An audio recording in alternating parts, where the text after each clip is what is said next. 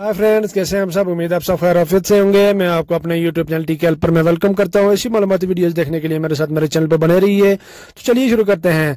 तो वैसे आज हमारा टॉपिक जैसा कि आप थंबनेल में देख सकते हैं अल राज़ी का एटीएम कार्ड आपके पास फ़िज़िकल कार्ड है और बाज़त वो आपसे डैमेज हो जाता है लॉस्ट हो जाता है। या उसके अलावा जो एटीएम कार्ड के ऊपर जो नंबर लिखा होता है, सोलह डिजिट्स का, आप, मैं आपको एक सिंपल के तौर पर आप कार्ड दिखा देता हूँ। उसके नंबर जो लिखा होता है ब्लैक में एक टेम्प्रेरी सा नंबर लिखा होता है। मतलब कोई इतना परमानेंट नहीं होता कि वो रिमूव ना हो सके। ज़्यादातर यही होता है कि कार्ड अपनी जेब में रखा हुआ होता है, पर्स में रखा हुआ है तो उसके ऊपर जो कार्ड नंबर लिखा हुआ था, सोलह डिजिट्स का, वो रिमूव हो जाता है। देखें ये जैसे मेरे पास ये कार्ड है, इसके ऊपर ये देखें, सोलह डिजिट्स के जो नंबर लिखे हुए हैं, ये ब्लैक में और ये टेम्प्रेरी से होते हैं, ये इसका कलर उतर जाता है, ठीक है? ये रिमूव हो जाते हैं ज़्यादातर, ये हो जाता है अक्सर।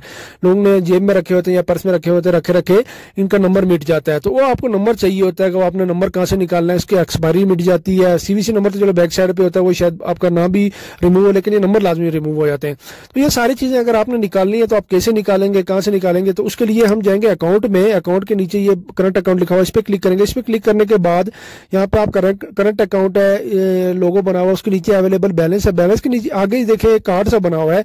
हमने इस कार्ड पे क्लिक कर देना ठीक है जहाँ पे फिफ्टी वन रियाल लिखा हुआ है अवेलेबल बैलेंस तो ये इसके आगे कॉर्नर पे राइट साइड पे कार्ड बना हुआ तो हमने इस कार्ड पे जैसे ही हम क्लिक करेंगे जब हम इस कार्ड पे क्लिक करने के बाद आपके पास जो है आपका मोबाइल नंबर जो होगा आप, उसका उस पर जो है एक नंबर पे कोड आ जाएगा रजिस्टर नंबर बैंक राज़ी में।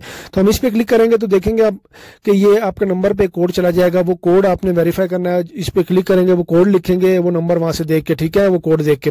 जैसे ही आप ये कोड इनपुट करेंगे तो ये आपको नेक्स्ट विंडो पे लेके जाएगा, जहाँ पे आपका कार्ड नंबर शो होगा कार्ड नेम डिटेल्स वगैरह ये सारी चीज़ें शो हो जाएँगी, ठीक है? ये हमने नंबर इनपुट कर दिया तो ये देखें, ये आपके सामने शो हो गया है। सबसे पहले ये देखें, ये दो मिनट बता रहा है। वो क्या कह रहा है कि the following details with only the available during two minutes due to security matter security matter की वजह सिक्योरिटी की वजह से ये सिर्फ़ दो मिनट के लिए आपको विजिबल होगा अवेलेबल होगा, उसके बाद ये ऑटोमेटिकली क्लोज हो जाएगा। तो आपने इसका स्क्रीनशॉट लेना वो आप ले लें।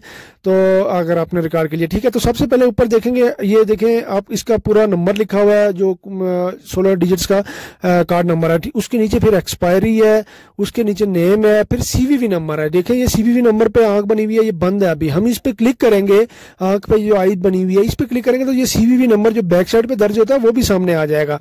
ये भी ये बड़ी ज़बरदस्त फीचर है इसका, ये हमने सीवी नंबर पे क्लिक किया तो देखिए इसका नंबर शो हो गया, अभी हम सीवी नंबर को ऑन कर देते हैं इसे आई पे क्लिक करके इसको ऑन आईडी रखेंगे।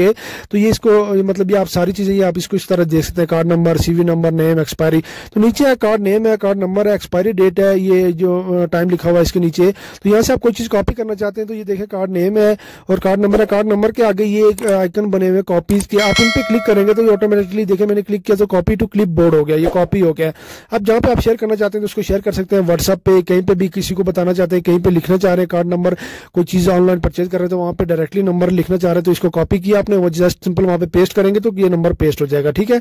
तो ऐसे आप अपना नंबर भी निकाल सकते हैं सीवी नंबर एक्सपायरी सब चीज़ें चेक कर सकते हैं अगर आपका नंबर रिमूव हो जाता है। तो इसी मतलब वीडियो देखने के मेरे साथ मेरे चैनल पर बने रही है मिलते हैं स्टूडियो में, अपना ख्याल रखिएगा। अल्लाह हाफिज़।